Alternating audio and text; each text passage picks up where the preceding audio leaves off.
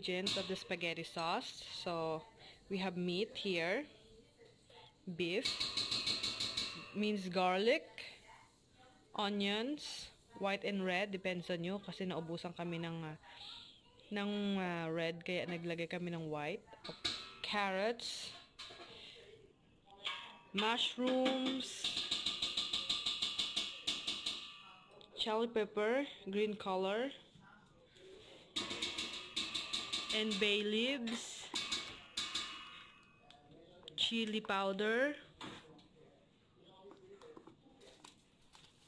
oregano, Italian herbs,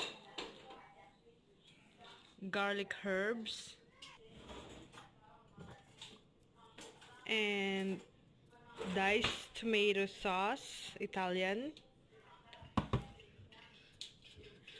Hans uh, tomato paste, and plain tomato sauce.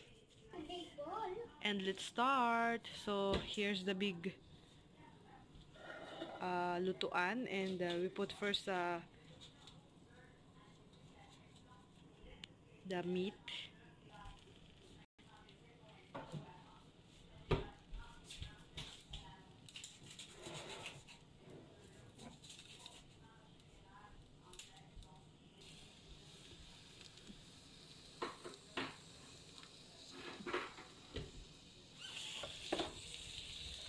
Mag voice over na lang ako later.